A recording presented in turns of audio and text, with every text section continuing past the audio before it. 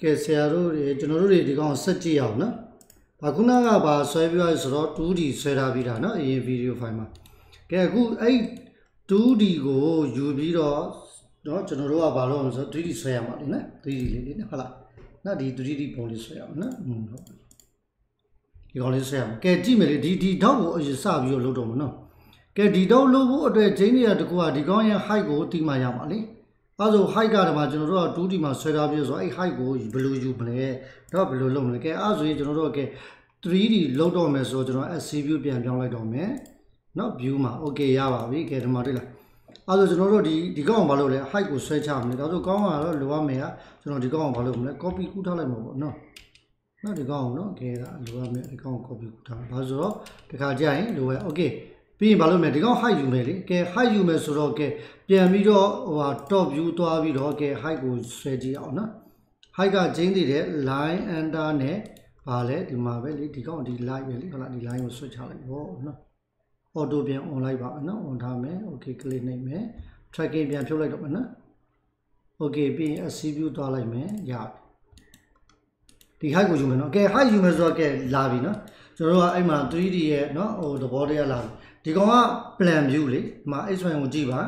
ဇက်ကအခုမြင်နေရတဲ့ဆွဲနေရတာကျွန်တော်တို့ကဒါ 2D နဲ့ကြည့်တော့ဒီကောင် plan view လို့ခေါ်တဲ့ top view နဲ့ဆွဲထားတာဒီကောင်ကိုကျွန်တော်တို့ကအဲ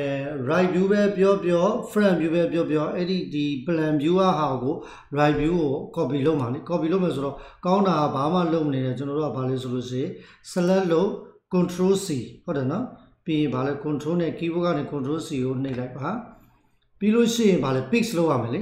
base မလုပ်ခင်ကျွန်တော်တို့ကဘာလုပ်မလဲ3 point နဲ့เนาะ3 point နဲ့ပဲကျွန်တော်ဘာလဲတနည်းအားဖြင့် right view ရောလည်းကောင်း front view ရောလည်းကောင်းခြင်းပဲเนาะကဲဒီမှာပဲကျွန်တော်ရွေးတော့မယ်လေကဲဒီကောင်ကတော့3 point ဒီဆော့ဆော့ဦးဆုံး point ဒီအလား original point ကိုယူတာပါဒုတိယ point က x tempo ကိုပြောတာပါတတိယ point က y tempo ပြောတာအခုကျွန်တော် select တဲ့ view ဒီ x y ကိုကြည့်ပါအလား right view ဖြစ်နေတာတွေ့လိမ့်မယ်ဒီမှာတွေ့လားအပေါ်ကိုတွားရတာလေဒါ right view လောက်ကြပါเนาะပြီးတော့မှကျွန်တော်ဘာလုပ်လဲဆိုတော့ control C ပြီးလို့ရှိရင်ဗာလဲ paste က control v ပါ control v နှိပ်ချလိုက်ပါဟောဒီမှာပဲနော်ဒါကြီးချက်တဲ့နေရာမှာ click ခေါက်လိုက်ပါပြီးရင်တော့ဒီကောင်ကဒီမှာပြန်ရှုပ်ဆက်ခတ်နေတော့ကျွန်တော်ဗာပြန်လုပ်မလဲတနည်းအားဖြင့် wall ucs လို့ခေါ်တဲ့ top view လေးပြန်ပြောင်းလိုက်မယ်เนาะပြီးလို့ရှိရင် move လုပ်မယ်လေဒီမှာကြည့် move ဘယ်နေရာမှာ move လုပ်မှာလဲသိလားဒီမှာလေဒီကောင်ကိုကျွန်တော်ကဒီမှာလေဟာဒီမှာ reference ယူချင်တာပေါ့เนาะပြီးလို့ရှိရင်ဒီကောင်ကလာလို့ရတယ်ဘာလို့ move လုပ်လို့ရတယ်လေ move လုပ်လဲရတယ်ဒါမှမဟုတ် copy လဲလုပ်လဲရနော် andy ပါချက်တာလုပ်လို့ရနော်ကောင်းတာတော့ move လုပ်ချလိုက်နော် okay အောက်ကိုလုပ်ချလိုက် okay အဲ့လိုလုပ်တာဘာမှမဟုတ်ဘာလို့ချင်လို့လဲသိတာအာဒါကျွန်တော်ဖြတ်လို့ရပြီလေဒါအဲ့ဒီအာကိုကျွန်တော်ဘာလုပ်မှာလဲ dot လုပ်မှာလေ dot တိုင်လုပ်မှာလေနော် dot တိုင်လုပ် okay အဲ့ဒါဆို dot တိုင်လုပ်မယ်ဆိုရင်အဲ့ဒီနှစ်ခုကိုဘာလဲ love လုပ်ရမှာလေ love လုပ်မှာကဲ love မလုပ်ခင်ဒါဆိုကျွန်တော်ဒီလိုလုပ်လိုက်မယ်ဒီကောင်လေးမလုပ်တော့ဘူးလေဟုတ်တယ်နော်အဲဒါဒီကောင်တွေကကျွန်တော် plan view မှာဒါလိုရမယ်ဟာတနည်းအားဖြင့် အဲပြည့်စုံပြပေးလိုက်တာနော်โอเคရပါပြီဒါလေးဖြတ်ပေါ့နော်โอเคရကဲဒါဆိုရင်အဲ့ကောင်ကကျွန်တော်တို့ကဒီမှာလေး love love က love တိမှာကျွန်တော် theory တွေရှိရလေဗာလဲ different shape တို့ similar shape တို့ same shape တို့နော် အဲ့တော့ဒီကောင်ကျတော့ဒါ similar shape ဖြစ်သွားအဲ့နှစ်ခုကိုလည်းဘာလို့လို့ရ love နဲ့လုပ်လို့ရတယ်အဲ့ကောင်မလုပ်ခင်ချင်းတွေကတကွာဒီ line တွေကဘာဖြစ်လဲနော်ဒီမှာကြီးကျွန်တော် control နဲ့တွားကြည့်ဒီ line တွေကရိုးတန်းဖြစ်အဲ့ဆိုကျွန်တော်တို့ကဘာလုပ်အောင်လဲ poly line လုပ်ပေးရမလဲအာ poly line ဆိုကျွန်တော် join နဲ့လုပ်မှာပေါ့ j enter နဲ့နော် select အလုံးလုပ်လိုက်ဒီမှာ click ပြန်ကြည့်ကြည့်လိုက်တနည်းအားဖြင့် property poly line ဖြစ်သွားပြီနော်ဒီကောင်လည်း click နှိပ်ကြည့်လိုက်ဘာဖြစ်နေမှာပဲလဲရိုးတန်း line ဖြစ်နေမှာအဲ့ဒီ line ကိုကျွန်တော်တို့ကဘာလုပ်မလဲ ပေါ် j j enter ပေါ့နော် join လုပ်ချလိုက်နော် join လုပ်ချလိုက် okay ရတယ်ကဲအဲ့ဒီနှစ်ခုဘာလုပ်မှာလဲသိလားအဲ့ဒီနှစ်ခုကို love လုပ်ချလိုက်ပါလေဒီမှာလေ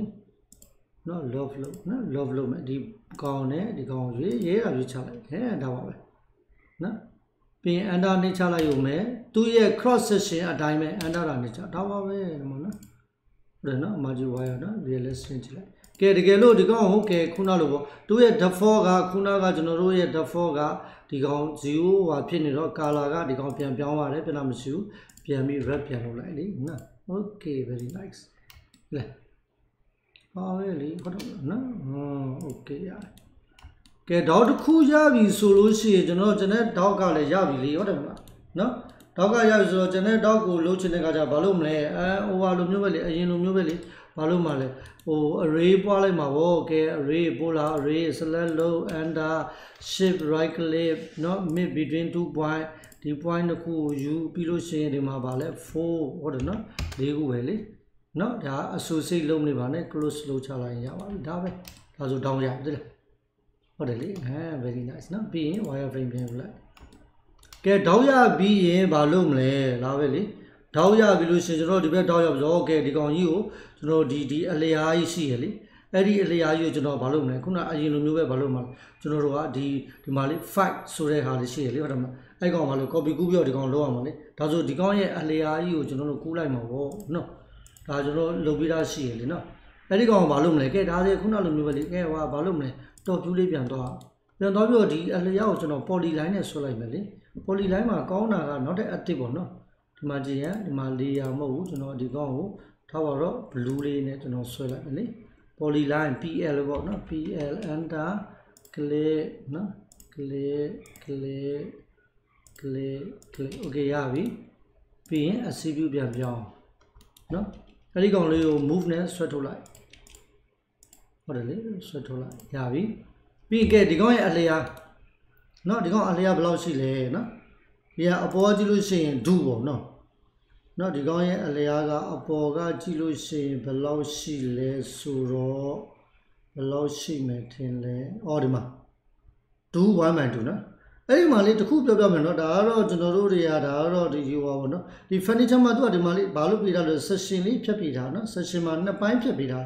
တစ်ပိုင်းကသူကဘာကိုပြချင်လဲဆိုတော့တစ်ပိုင်းကသူကဒီမှာနှစ်ထပ်ဖြစ်နေတာအောက်က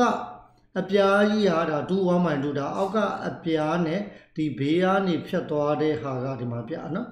ဒီကောင်ကအပေါ်ဟာကိုပြတာနော်အဲအဲ့လာလေးတော့ understood နားတယ်နော်သူကဒီလိုနှစ်ခုပြချင်တဲ့အဓိပ္ပာယ်ဒီဒီအောက်ကဒါကအောက်ကအပြားကြီးနဲ့ဒီဘေးနားကနော်ဖြတ်သွားမယ်နော် session နော်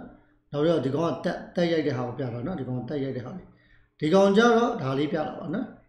ဒီကောင်ရဲ့အထူဒီ support ကိုပြတာပြီးဘေးနားကဟာဒီကောင် session ကိုပြတာနော်ဒီတော့ဒီပြပြနဲ့သေးသွားလေးတိမ်သွားတယ်နော်အဲ့ဒါလေးနော် နော်ဒါဆိုဒီမှာကြည့်တဲ့ဒီကောင်ကမှလဲ2 1.2လေးအဲဟုတ်တယ်နော်အဲ2 1.2အဲ့2 1.2ကိုကျွန်တော်တို့ဗာလဲ execute လုပ်အောင်ပေါ့ဟောနော် execution နဲ့လုပ်ချက်လိုက်နော်လောဆယ် click နှိပ်မယ်အပေါ်ကိုဘာလုပ်လဲ2-1.2ရနော်အဲဟုတ် okay blue နဲ့ပဲနော်ဒါကအပေါ်သွားပြီးလှုပ်တာတကယ်ကဲကြတော့ကျွန်တော်တို့ဒီကောင်ကြီးကိုဘာလုပ်ရမလဲ rotate လှည့်ချပြီးတော့ဒီမှာလာကက်ရမှာလေနော် နော်ဒါဆိုကျွန်တော်တို့တော့ဒီကောင်ကိုဘာလုပ်မလဲခုနလိုမျိုးပဲကျွန်တော်တို့ဘာလုပ်မလဲဒီကောင်ကိုဘာလဲအဲဒီကောင် view ကိုပြောင်းဒီကောင်ကျွန်တော်လှည့်ချမှာလေဟုတ်တယ်နော်လဲချမယ်ဆိုတော့ view ကိုပြောင်းမယ် view ပြောင်းမယ်ဆိုတော့ 3D point နေပဲဒီမှာလာ point ထားလိုက်နော် right view ပြောင်းလိုက် right နော် right okay ပြီးရင်ပါလို့ rotate ro enter select enter click 90ဟို auto mode on ထားပြီးတော့ကြောင့်90ရပြီပြီးလို့ရှိရင်ဟို wall user ကိုတောင်းပြီးတော့ဘာလုပ်မလဲပြီးလို့ရှိရင် rotate ထပ်လုပ် rotate အဲ့ rotate ကလည်း90ပဲဒီကောင်ကျတော့ copy လုပ်စမ်းမလို့နော် okay ရပြီလေအဲ့ဒီကောင်ကိုဒီမှာလာထည့်မှာကဲအဲ့ဒီကောင်လာထည့်တဲ့ဟာလေနော်ပညာပါပါနော်ဒီနေရာလေးမှာလာထည့်မှာလေနော်အဲ့မှာလေအဲ့ဒီကောင်လဲလာထည့်မယ်ဆိုတော့ပြဿနာကကျွန်တော်တို့ကသိတဲ့အတိုင်းပဲဒီကောင်ကနေပြီးတော့အပေါ်ကိုခုနလိုမျိုးပဲလေနော်ဒီကောင်ကိုပြန်ကြည့်ဒီကောင်လိုမျိုးပဲလေဒီကနေဒီကိုဘယ်လောက်လဲ5ဖြစ်ပြီးတော့အလဲကျနေရပါနော် ဒီကနေကို5ဖြစ်ပြီးအလဲကျရမယ်ပုံစံဆိုတော့ကဲဒါကြီးကျွန်တော်ချုပ်ပါနော်ဒါကြီးကျွန်တော်လုပ်လို့လိုက်တော့နော်နော်အဲ့ဒီကောင်ကဘာလဲဒီဒီဘက်ဘေးဥမာပြောချင်တာဒီမှာ right view သွားကြည့်လိုက်လေဟုတ်လားနော်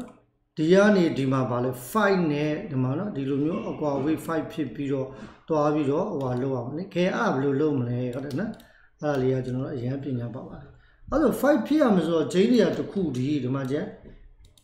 ဒီမှာလေဒီမှာကျွန်တော်5ဖြစ်ရမယ်ဆိုဒီကောင်ရဲ့နော်ဒီဘက် right view ကြည့်မယ်မှာ 3D မှာစဉ်းစားတာပို့ကောင်းနော်ဘာလို့မလဲဒီကောင်လေဒီမှာကျွန်တော်ဒီအထဲအတွင်းကိုလေဘာလို့မလဲ line enter လုပ်လိုက်မယ်နိဒီဒီကောင်ရဲ့ mid point နဲ့ဒီကောင် mid point ကိုဆွဲချလိုက်ပြီးလို့ရှိရင် right view နဲ့เนาะ right view ပေါ့เนาะဒီမှာကြည့်เนาะဟုတ်တယ်เนาะ right view နဲ့ဒီကောင်အပေါ်မှာပဲကျွန်တော်3 point ယူလိုက်မယ်လေ right view နဲ့ဒီမှာဒီမှာယူရင်ဒါ original point ညာဘက်ကို click extend မို့အပေါ် y ဒါပဲလေ အဲ့ဒီမှာဘာလို့မလဲ cycle ဆွဲ c enter နဲ့ block 5ဆွဲရမှာနော်အဲ့လာမှကျွန်တော်တို့ဒီကောင်အောင်ဒီမှာကြည့်ကြည့်လိုက်နော်ဘာဆိုလာထိမှာလေနော်နော်အလားဒါသူသူ့ရဲ့ view ပေါ်မှာပဲဘာလို့တာလဲဟုတ်တယ်နော်အဲအဲ့ဒီ5ကအဲ့ဒီဒီကောင်မှအလုံးမဲ့အာကျွန်တော်ဘာလို့လဲ train ချလိုက်မှာပေါ့ tr enter နဲ့အမှကြည့်နော် train လိုက်ဟုတ်တယ်နော် okay အဲ့လားမရအဲ့ဒီအဲ့ဒီ point မှာကျွန်တော်တို့ဘာလုပ်မလဲဒီမှာလာထည့်အောင်နော် okay ရကဲဒါဆိုကျွန်တော်ဘာလုပ်မလဲ move ချင်းနေတယ်အခု mid point ကိုဒီမှာလာထားလိုက်ပေါ့ဟုတ်တယ်လေအဲရပြီလေကဲဒီမှာညနော်ပြီးလို့ရှိရင်ကျွန်တော် wall users ကိုသွားမယ်ပြီးရင် right view လေးနဲ့သွားကဲဒီကောင်ဘယ်တော့ဘယ်အပြင်ဘယ်လောက်ထွက်သွားမှာလဲအဲဟုတ်တယ်လေဒါတော့ကျွန်တော်တို့အရင်အတိုင်းပဲလေဒါကခုနသူ့ရဲ့ right နဲ့ကျွန်တော်တို့ကလိုချင်တဲ့ဟာလေးလုပ်ထားတာလေအဲဆိုဒီကောင်ကိုလည်းကျွန်တော်တို့ကဗာလဲဟိုကလောမယ်အဲဆို 3D view ပဲပြန်သွားလိုက်လေဟုတ်တယ်နော် 3D view ကကျွန်တော်တို့သိပြီးသားပဲဗာလဲဒီမှာလေဒီ point လေဒီကောင်းရဲ့ mid point နဲ့ဟို point နဲ့ဟာ mid point ဟာ okay ကွက်တီပဲလေဟုတ်တယ်မလားအဲ့ကောင်အဲ့ဒီကောင်ကိုကျွန်တော်တို့ကဗာလဲဒီမှာဒီကောင်းကိုဒီမှာဗာလဲဒီဒီအပေါ်မှာဗာလို့ရမလဲလာထိရမလားထိရမဆိုကျွန်တော်ဒီ line နဲ့ပဲနော် order ဒီ site ကြီးမလို့တော့နော်ဒါအားလုံးက straight ဖြစ်နေရပါ understood တည်ပြီးသားပဲနော် okay ဗာလို့မှာလဲ move ဒီမှာလေဒီ point ကဒီကောင်ရဲ့ intersection ချိန်နေတဲ့ intersection point ဖြစ်အောင်เนาะ okay ဒါပဲလေပြတ်ချလိုက်အောင်เนาะနော်ဒါ for sure တော့ဆွဲလို့ရနော်ဒါ for sure မဖြစ်စတယ်နော်အမ right view တော့ကြည့်လိုက်ဟုတ်တယ်ဟုတ်တယ်နော်ချိန်နေတယ်ဒီမှာကြည့်ကြည့်ပါနော်အာဒီကောင်ကလည်းဒီကောင် xy ကဒီကောင်ကဘာ view ပြရမလဲဆိုတော့ 2D right view နဲ့နော် right view ကိုပြောင်းပေးပြီးတော့ line လေးနဲ့ဒီမှာကြည့်နော်ဆွဲကြည့်လိုက် နော်တထက်ဖြစ်နေတယ်လားနော် okay နော်အဲဟုတ်မှတ်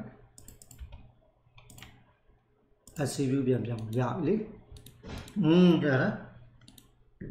ကဲဒီကောင်းပေါ်မှာကဲအခုကအခုကကျွန်တော်တို့ကအဲ့မှာလာပြီတိလားဘာလဲဆိုတော့ကျွန်တော်ပြဿနာတွေလို့မဟုတ်ပါဘူးဒါပေမဲ့အဲ့မှာပညာအရန်ပါပါတယ်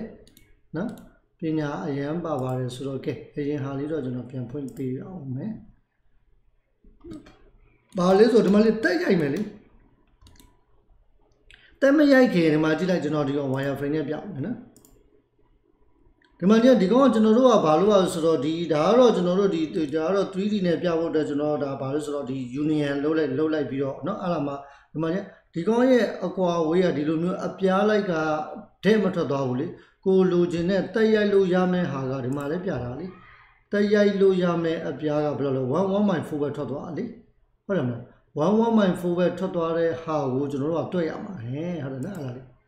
နော်အဲ့ဒါလေးပညာပါနော်11.4ဟာလေးတွေ့ရမှာဆိုတော့ကျွန်တော်ကဒီလိုလုပ်လိုက်မယ်သိလား။ဘာလို့ဆိုတော့အဲ့နှစ်ခုကိုကျွန်တော် union လုပ်ချလိုက်ကြည့်နော်။ union လုပ်ချလိုက်။ခွတ်အဲဒါဆိုအဲ့လို union လုပ်လိုက်တော့မှ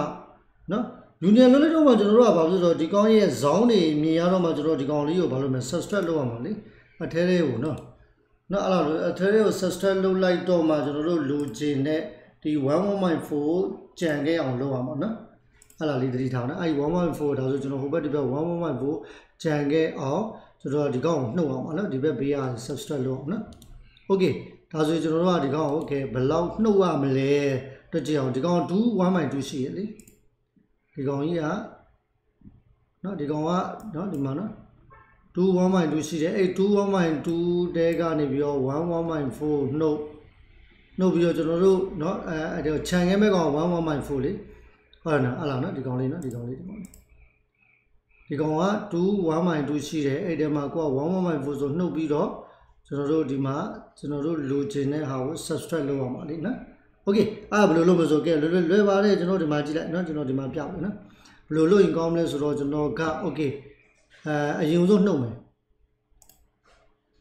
2 1.2က2.5ဟုတ်တယ်နော်2 1 minus ဒီကောင်နော်2 1 minus 2က2.5ထဲကနေပြီးတော့1.25ကိုနှုတ်နော်အနှုတ်အာ sorry ခဏလေး2.5ထဲကအနှုတ် 1.25ကိုနှုတ် okay ရပြီအဲ့ဒီကောင်ကိုနှစ်နဲ့စား0.625ဒီအားကျွန်တော်တို့နှုတ်ရမယ် subtract နော်0.625ကျွန်တော်နှုတ်ရမယ်အဲ့ဆိုကျွန်တော်ဒီမှာပဲ2 point ယူလိုက်မှာပေါ့ဒီမှာနေ click ဒီဘက်ကိုသွားပေါ်ကိုထောင်ဟုတ်တယ်နော်နော်ဒါသူအဲ့မြင်းနေပြင်ပါလေဟုတ်တယ်နော်အဲ့ဒီမျက်နှာပြင်မှာဘာလို့မှကျွန်တော်ကဘာလဲ polyline ဆွဲမှာပေါ့နော် polyline ဆွဲမှာနော်မကြ PL enter လေးဆိုဆွဲမယ်နော် click click click click click ရပြီမာကြီး move လေးနဲ့ပြဟုတ်တယ်နော်အဲတချို့ကဘာလို့လဲတိလာကဲကျွန်တော်နောက်တစ်ခုထပ်ပြောပြမယ်တချို့ကဒီလိုမင်းဒီလိုမလုံနေတဲ့ဒီလိုလုံရင်မင်းပြင်မနေတယ်နော်နော်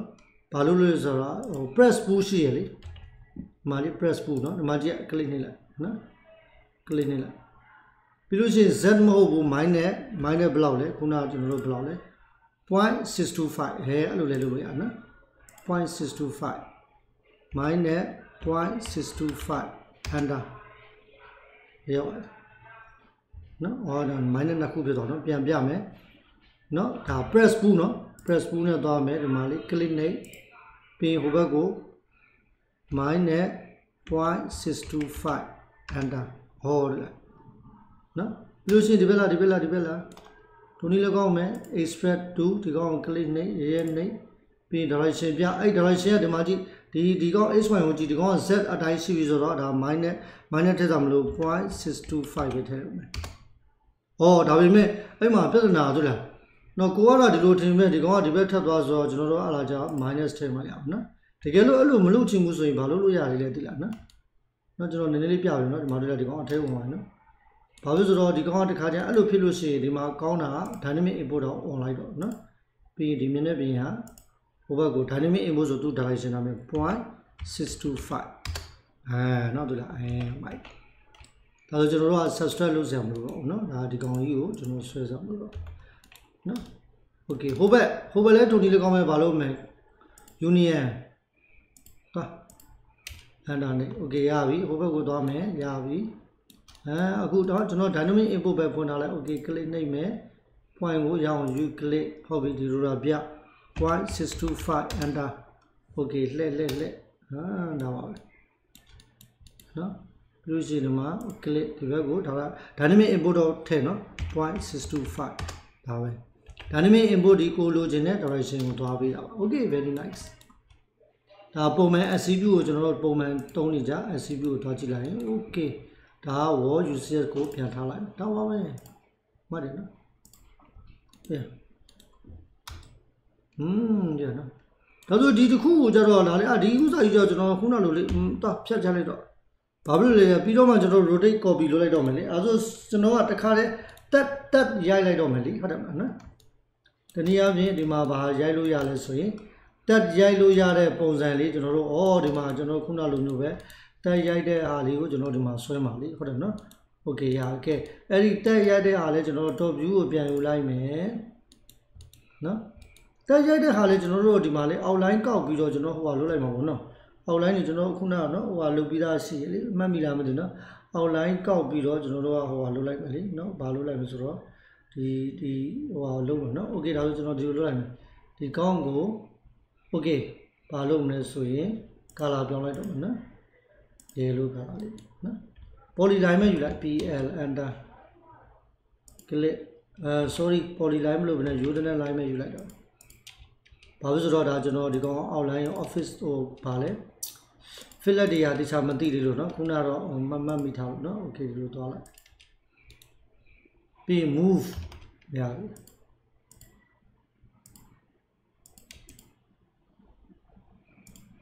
oh my god ဒါဟိုပါเนาะ undo ပြန်လို့ သူရဲ့ move က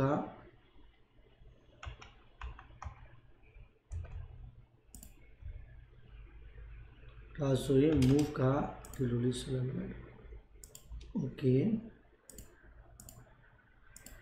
windows ဆက်လိုက်ပါနော်ဟုတ်အော်ဒီဘက်က move တော့ windows ဆက်လိုက်မို့လို့ကြာပါသွားတော့နော်ပြန်တော့မရှိပါဘူး okay ကဲဒီကောင်ကကဲ annotate မှာကဲမမှတ်မိတော့ဘူးဆိုတော့ကျွန်တော်ဒီကောင်လေးနဲ့ radius လေးနဲ့ကြည့်လိုက်မယ်ဘယ်လောက်လဲ3/8 fnr enter 3/8ဟုတ်တယ်နော်ဟာ1/8နော် f enter r enter 1/8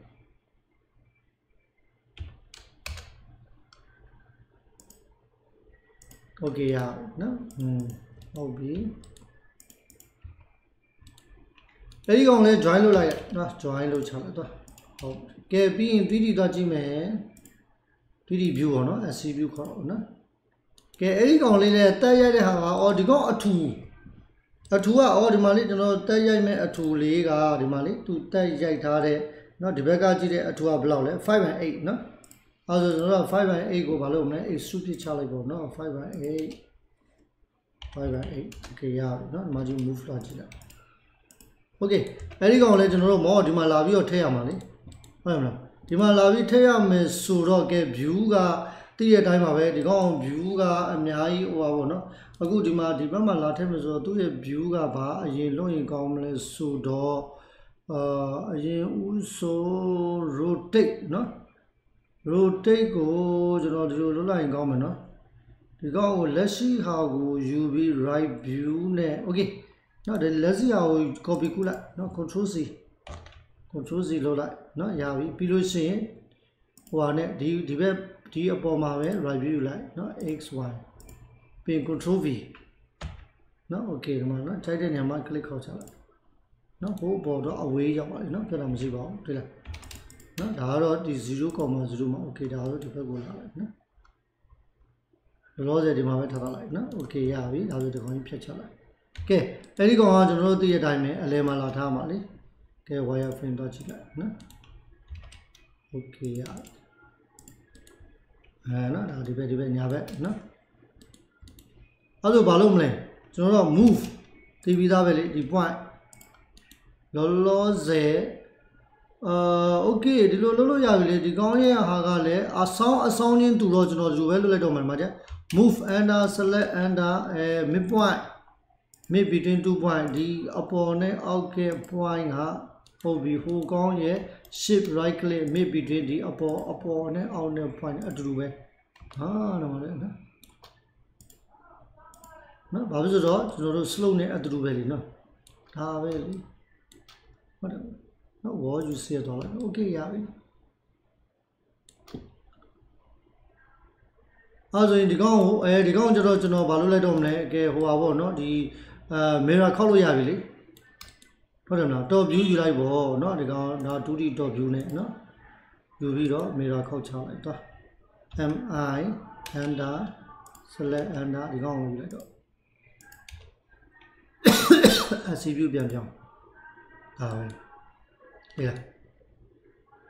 ဒါပဲလေအဲ့ကောင်ကျွန်တော်တို့ကဗာလဲဩဒါ union လို့ချတော့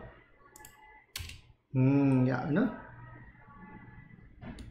နော် union လုပ်ပြီးတော့ကျွန်တော်ဗာလုပ်မှာလဲဒီကောင်ကို rotate လုပ်လိုက်တော့မယ်လေနော်ဒါ view ကအတော်ပဲလေ RO under select under shift right click mid between two by click click copy လုပ်မယ် C under ဟော auto mode on ထားလိုက်ပါ click နေတာပါဒါပါပဲနော်မိုက်ပါဒီလား ဒါပဲလေအာဒီလည်းမိုက်နော်ရရလွယ်နော်ဘာမှအရင်ထူထူထူထူမရှိပါဘူးနော် okay ရအဲ very nice နော်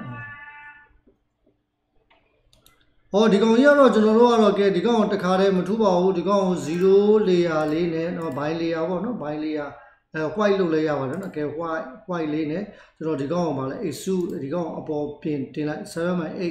အဲ့ကောင်က extrusion ပဲလေ နော်ဒီမှာ click နဲ့အပေါ်ကိုဒါပဲရှင်းပြ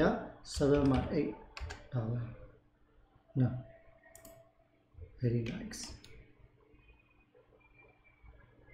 အော်ဟိုကောင်တွေကတော့ဒီကောင်တော့အရန်လွယ်ပါပါပြီဒီမှာကြည့်ကြည့်ပါကဲကျွန်တော်တို့ကဒါလေးဒီလိုလုပ်လိုက်မယ် top view ပြန်သွားဒါ 2D top view ဟုတ်ပြီနော်ကဲနောက်ထပ် color တစ်ခုပေါ့နော်အဲခုနကဟိုဟာလေးဆိုတော့ siren magenta လေးလိုက်တော့မယ်နော် magenta လေးလိုက်ပြီးလို့ရှိရင်ဒီကောင်းရဲ့ဟာက polyline PL under နဲ့ပဲကျွန်တော် polyline နဲ့ကောက်လို့ရပြီလေ click click click click ဒါပြီ move လုပ်ထားလိုက်နော် oh sorry move ဟာ polyline မှာဆိုဘယ်လိုဖြစ်လို့နော်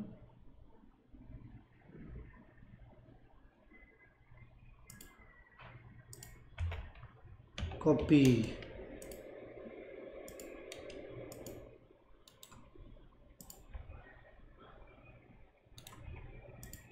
ခဏလေးဖြတ် move နော်အဲရ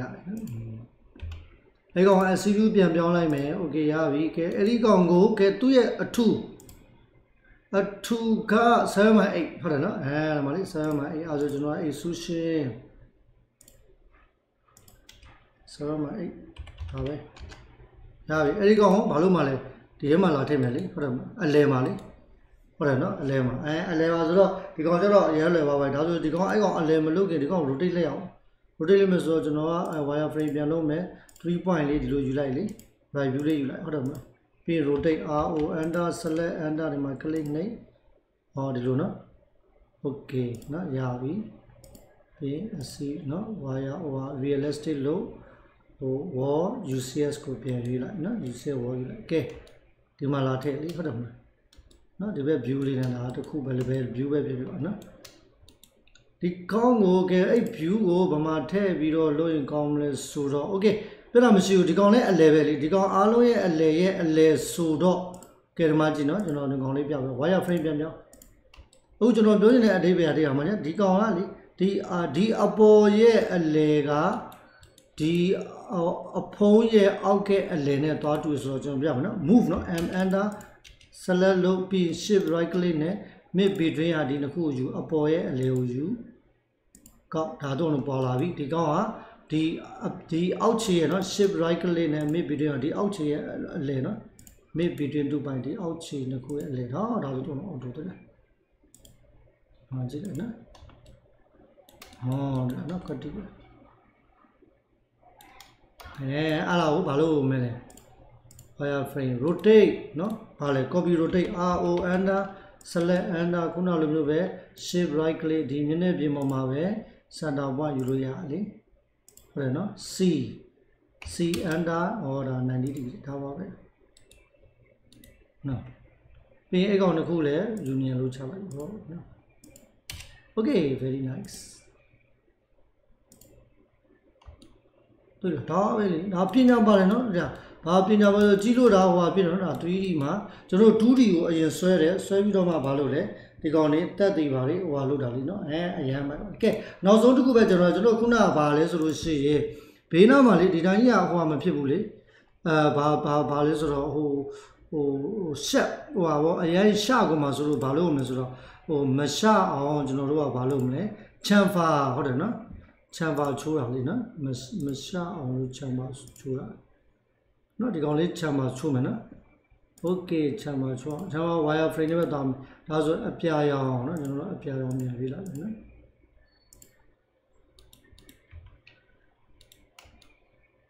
ကဲဒီကောင်လေးအရင်เนาะဒီကောင်လေးကိုချမ်းပါချိုးမယ်ချမ်းပါချိုးမယ်ဆိုတော့ကျွန်တော်တို့ကချမ်းပါဒီကျွန်တော်တို့ကဒီမှာ solid เนาะ solid မှာ fillet နဲ့ chamfer ဆိုတာရှိရလေဒီမှာကြည့်ဒီ solid နော်ဒီမှာတော့ chamfer ခဲရွေးလိုက် click နှိပ်လိုက်အဲဒီမှာ select h ကဲ h ကိုရွေးခဲ့ဒီကောင် h လေးဒီ h ကိုရွေးရမှာနော်ဟောပြီးရင်သူ့ရဲ့ဟာကြီးကဟိုပါပဲအရင်များနေဆိုတော့ distance d under နဲ့ဘယ်လောက်လုပ်ချင်တာလဲဆိုတော့ကဲအဲ့ဒီကောင်ကကျွန်တော်တို့က command ကြီးဘယ်လောက်လုပ်လဲဆိုတော့ ဟို1/8လောက်ပဲလုပ်လိုက်နော်ဒီကောင်ကဗာလေတိတိလေးဖြစ်နေနော်ဒီကောင်က7/8ဆိုတော့လေ1/8နဲ့ပဲချမ်းမချိုးအောင်နော်။ဟောကျွန်တော်ဘယ်လောက်လဲ1/8နဲ့ချမ်းမချိုးမယ်နော်။နောက်တစ်ခုလဲနောက်တစ်ခုလဲ1 my 8ပဲနော်နှစ်ခုလို့လားโอเคရတယ်လားနော်ပြီးရင်ဒီကောင်ဒီကောင်ဒီကောင် enter enter ဒါပါပဲ နော်ဒီလားအဲဝါမအေးနော် wireframe နဲ့လုပ်နော် wireframe နဲ့မှကျွန်တော်မြင်အောင်ထိုနည်းလည်းကောင်းမယ် chamfer chamfer ကျန်တာကကျွန်တော်ဒီနေ့ပြီးရဟိုပေးပြီးတော့ဆို click နဲ့ရုံပါနော်ဝါမအေးက click နဲ့ဒါပဲ enter enter ဒါပဲနော်ဟိုဘက်သွား chamfer နော် distance တော့မထည့်ပြီးတော့ဆိုနောက်တစ်ခါထည့်စမ်းနော် h တွေရွေးလိုက်ပါနော် h တွေရွေးလိုက်ပါနော် very nice ပါ chamber h တွေပဲရွေးလိုက်ရုံနဲ့ distance ကလုပ်ပြီးတော့ဆိုတော့ခုနမရှိ enter enter ပဲနော်ဒါသူကဒီအခုလောလောဆယ်ဒီကောင် accept လုပ်မှာရပြီလေဒါပါပဲပို့ပြီးတော့လှပါတော့နော်ဟောတော့နော် နော်1 by 8ကကြီးနေလို့ရှိရင်ကျွန်တော်1 by 16ပါဗျာဒါတော့ကိုယ့်ပုံမူတည်တာနော်နော်โอเคနော်တဲ့ဟမ်ဒါနော်ရမ်းမိုက်ပါနော်အလားဒီတွေ့လာမလို့နော်ဒါကကျွန်တော်တို့ကโอเคဒီတွေကကောင်လေးကโอเคနော် union လို့ဆိုဒါတစ်သားဟိုပါပေါ့နော်ဟိုပြောချင်တာကဟိုဒီဒီကျန်တဲ့ဟာကျတော့ကျွန်တော်တို့ကဒါကတော့ဒီကာပန်တာက လက်သမားဆရာကသူ့အောင်သူဟိုလိုနော်ဘယ်လိုဆွေးပြေးတွေကြိုက်ဘယ်လိုလုပ်တာတော့ပြောမှာနော်ကျွန်တော် 3D ကိုဒါ modeling လုပ်ပေးရတော့ပေါ့နော် โอเคเนาะရမယ်เนาะโอเคဒါကြောင့်မလို့ဒီမှာသင်ခန်းစာဘာလုပ်လဲဆိုတော့ဒုတိအရင်ဆွဲပြီးတော့မှဒုတိလောက်တာပိုကောင်းတယ်ဘာဖြစ်လို့လဲသိလားဒီကောင်းရဲ့เนาะချိုပါမှာဒီမှာเนาะဒါ right ကိုကြည့်လိုက်เนาะဒီကောင်းရဲ့သိလားဒီလိုမျိုးသွားအောင်เนาะဒီလိုမျိုးညီနေရမှာเนาะဟာလာတတိထားเนาะအဲเนาะနောက်တစ်ခါသူ့ရဲ့ shape ကတနည်းအားဖြင့် h စုပြစ်တယ်လို့ဒဲသွားတာမဟုတ်ဘူး နော်ဘာလဲဆို love နဲ့လုံးမရနော် love comment လေးနော်အဲအဲ့ဒါပြညာပါနော် okay ကဲအားလာလေအားလုံးကိုကြည့်ပြီးတော့လေတခြား live လုပ်လို့ရှိရင်နော်ဒါနော်လွယ်ပါတယ်နော်ကဲအားလုံးကျေးဇူးတင်ပါခင်ဗျနော်